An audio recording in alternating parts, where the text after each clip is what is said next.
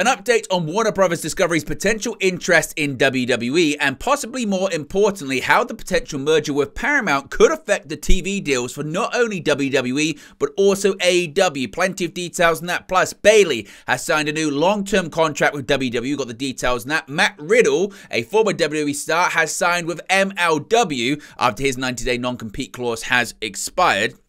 Speaking of which, several former WWE stars are now free agents after their non compete periods have been completed. One of which is Mustafa Ali, who has announced a world tour and several independent pro wrestling bookings. An update on Kenny Omega after his hospitalization for diverticulitis, and Saraya's brother works an AEW dark match.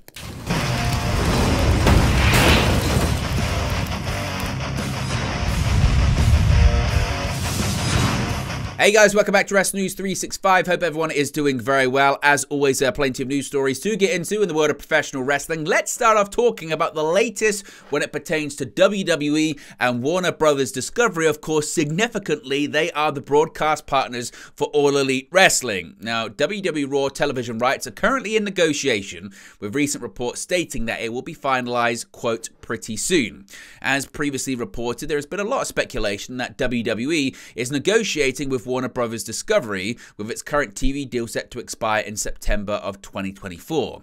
With the news that WBD and Paramount executives have met to discuss a potential merger, Dave Meltzer provided a new update on WWE and WBD's plans, on the latest episode of Wrestling Observer Radio, Meltzer was asked if a Raw to WBD deal was, quote, still in play, replying, quote, it's majorly in play, absolutely in play, yes. Look, you know that in the TV world, having number one has its value over having number two.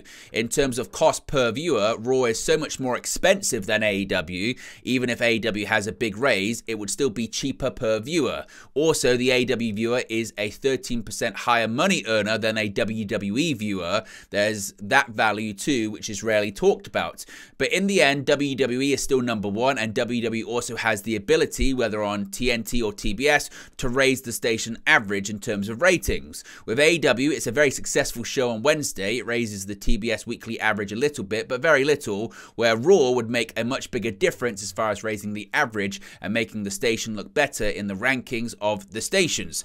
Now, when it comes to the potential merger between WBD and Paramount, plenty of people were wondering after the news broke yesterday how this was going to affect possible negotiations with WWE and AEW as well.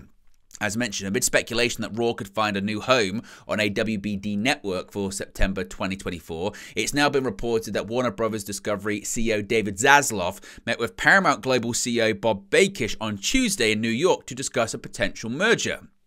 The talks may still be, quote, early and may not ultimately result in a deal, but the impact of a potential merger was discussed by Dave Meltzer on the Wrestling Observer radio show.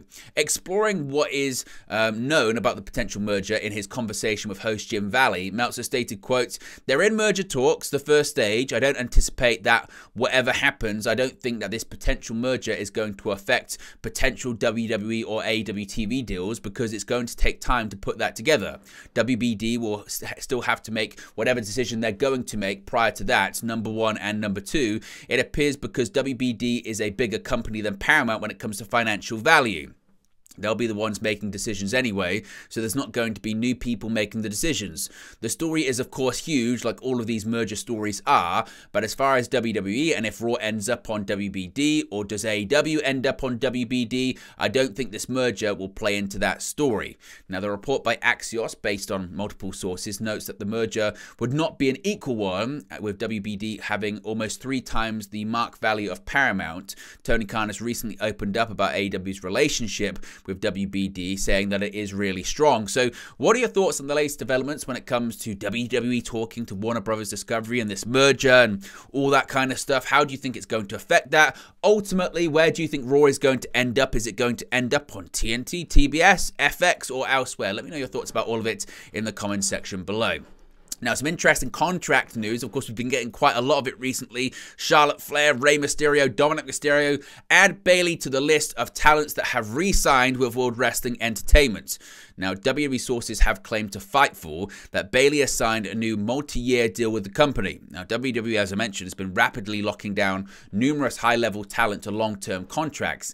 Bayley has been a fixture in WWE for a number of years and is well liked backstage among staff and talent. As one would expect, Bayley's contract extension is one that was seen as a priority within WWE. Of course, if we get any more details on really how many years and possibly the money involved, we'll let you know. But it is a long term, multi year contract, and Bailey is not going anywhere. Now, speaking of people that used to be in WWE now, now that are no longer with the company, Matt Riddle, his next move after his WWE release has now been confirmed. The 90 day non compete clauses for most of the recent WWE released talent that took place on September 21st officially expired today, with the names released now officially free agents. Among those names is Matt Riddle, a former US and Raw Tag Team champion who found success as part of the RK Bro Tag Team alongside Randy Orton. Ahead of his free agency, Riddle had been advertised for the upcoming MLW Kings of Colosseum tapings on January 6, where he will face Anoa'i family member Jacob Fatu. With Riddle's free agency officially starting today, MLW has now officially announced that Matt Riddle will be joining the company. Speaking on Busted Open Radio, Court Bauer was asked about Riddle's future with the company, saying, quote, It's open. He's going to be on virtually all of our shows going forward. Where that takes us down the road, we'll see. He's able to work for other places, just to let everyone know that. He's primarily with us, he's going to be with us, and there's going to be other stuff coming down the road that he's going to reveal on his own, but will, will be one of his bigger focuses. So Riddle certainly looks like he's going to be doing a lot of stuff with MLW in the future. What are your thoughts on him signing with that promotion? What are your thoughts on the match against Jacob Fatu? And what are your thoughts on Matt Riddle in general? Speaking of which, we mentioned all of these free agents, and now we can go through the list of people that are officially now able to sign with any pro wrestling company of their choosing. Wrestling free agency is as hectic as it's ever been, with several notable names from AEW and WWE set to hit the open market over the first six months of 2024. But before that, there will be a race for another set of names that have been waiting for three months for the opportunity to get back into a wrestling ring. PW Insider and plenty of other outlets have reported that as of today, December 21st, 90 days have passed since WWE released over 22 talents on September 21st, meaning their non compete clauses have come to an end. Thus, talents such as Mustafa Ali, Dolph Ziggler, Matt Riddle, Shelton Benjamin, Emma, Elias, Top Dollar, Rick Boogs, Mace, Mansoor, Aliyah, and Dana Brooke will now be able to wrestle once again, as well as negotiate with any promotion of their choosing their free agency now official, many of the bigger names let go by WWE have already begun lining up bookings for after the 90 day period. This includes Top Dollar, Mace, Mansoor, who'll be debuting in GCW in January. Riddle, as I mentioned, has been confirmed when it comes to MLW. He signed an open contract with the company. Uh, Ziggler is going to be wrestling for the World Wrestling Council in Puerto Rico on January 20 as well. Now, this influx of wrestlers into the free agent market comes at a time when two promotion are teasing big reveals down the road. Earlier this week, TNA Wrestling President President Scott D'Amore teased that the promotion would be making a massive signing that would be revealed at the TNA Hard to Kill pay per view taking place on January 14. Meanwhile, AEW has continued its ongoing storyline with the mysterious devil figure who has continued to torment MJF over the past several months. So, those names that I mentioned, where do you think they're going to land? Let me know your thoughts about that. Now, one name we mentioned was Mustafa Ali, and he has announced his future plans now that he's free and clear to wrestle once again. It's a big day for talents, as I mentioned, uh, obviously, with several ending their 90 day non compete clauses coming to an end. And Mustafa Ali is one of the most notable names to be let go, has decided to ring in the occasion in the biggest way possible. Taking to X at 12.21 pm, a play on his non compete being up on December 21st, Ali posted a tweet announcing the Mustafa Ali 2024 World Tour campaign. More notable, however, was a two minute video included in the post featuring Ali speaking to fans at a political rally. Clad in a suit with a devilish looking pin on his shoulder, Ali referred to himself as a free man and said that wrestling had fallen into the hands of leaders whom Ali believed to be corrupt and selfish. As clips of stars such as Kazuchika Okada, Alex Shelley, Mike Bailey, El Hijo del Vikingo, Will Ospreay, Swerve Strickland, Matt Cardona, and others flashed across the screen, Ali announced a campaign to rid wrestling of these corrupt leaders and become the the leader wrestling needed. Shortly after the video was posted, numerous independent promotions announced Ali for upcoming matches in both January and February. Among the most notable was Ali's GCW debut, which will take place on January 12 in his native Chicago, Illinois, where he'll battle Gringo Loco. Other matches announced were for Dreamwave, where Ali will face Loco, Penta El Zero Miedo, and Vikingo in a four-way match on February 10, and a match for Prestige Wrestling on February 25 against Bailey. So certainly Ali is going to be a busy man heading into 2024.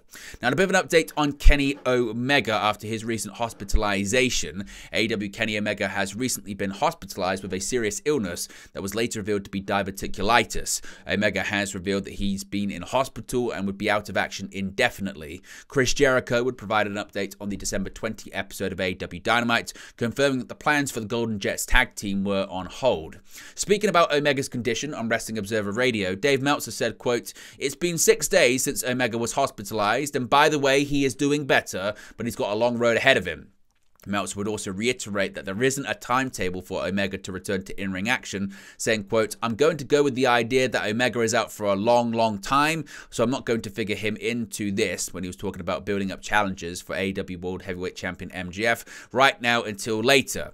Now, Tony Khan addressed Omega's condition at length during the Ring of Honor Final Battle media scrum last week, reflecting his importance to AEW. As previously noted, diverticulitis is an inflammation caused by pouches or bulges called diverticula, forming in the walls of the large intestine slash colon. Now, common symptoms include severe abdominal pain, nausea, and high temperatures. We wish Omega the best. Of course, it was actually reported that it was a pretty close call, and had Omega not been hospitalized uh, when he was, it could have been much more serious if they left it any longer. So if we get any more updates on Kenny Omega, of course, we'll let you know in the future. Finally, Saraya's brother took place uh, in his first AEW match at the tapings last night. It was not the best of nights, of course, for Saraya yesterday at AEW Dynamite, as she was defeated by Riho in a match to determine Timeless Toni Storm's challenger for the AEW Women's World Championship at AEW World's End later this month. But while Saraya was having her woes, a family member was getting the opportunity he's been waiting for for a very long time.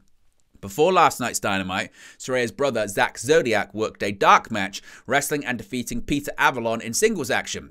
It's unclear if this match was an official tryout for Zodiac, who is in the United States touring for the next month after obtaining a work visa in the fall, and if he'll be working any more AEW dates moving forward.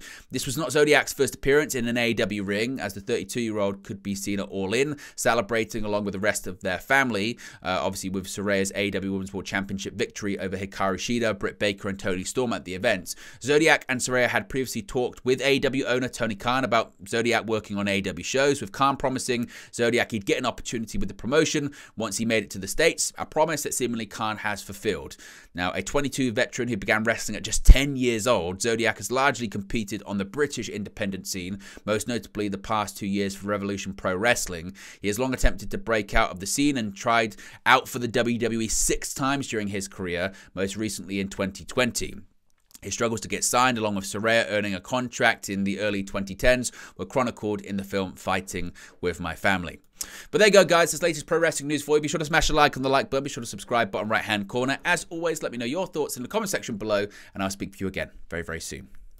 Hey guys, thank you for watching, listening, streaming, or however you come across this video today. Be sure to click on the video on the right there to watch our next video, or click the bottom there to subscribe, or the bottom right hand corner. Thank you very much, and I'll speak to you again very soon.